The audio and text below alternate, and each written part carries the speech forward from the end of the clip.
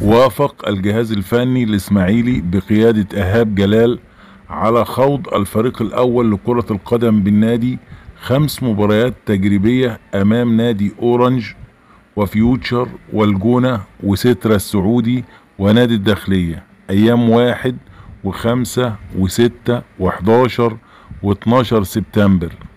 في إطار الاستعدادات الجادة لانطلاق الموسم الجديد.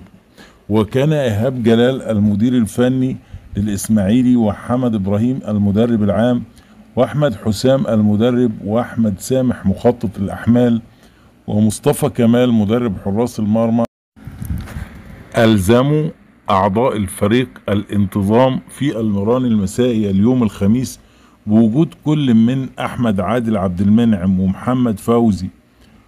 وكمال السيد وعبد الله جمال ومحمد عبد الفتاح لحراسة المرمى ومحمد هاشم وياد العسقلاني ومحمد عمار وعماد حمدي ومحمد نصر ومحمد دسوقي وعصام صبحي ومحمد بيومي وعمر الساعي وأحمد محسن ومحمد عبد السميع ومحمد مخلوف وعبد الرحمن مجدي ومصطفى فارس ومحمد حسن وحازم مرسي وباسم مرسي وابو بكر حمزة الجمل ومحمد وجدي وعبد الله السعيد وعبد الله محمد ومروان حمدي ومحمود الشبراوي وأحمد عبد الوهاب ومحمد إيهاب وبشار أشرف وأحمد عبد السميع وعمرو سعيد ومحمد ياسين وحسن صابر ومحمد زيدان ونادر فرج وحمادة صلاح وعبد الرحمن شعبان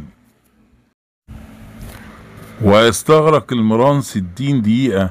اشتمل على الإحماء وفك العضلات وانتقل لنواحي الخططية وانتهى بتقسيمة ظهر خلالها جميع اللاعبين بشكل جيد.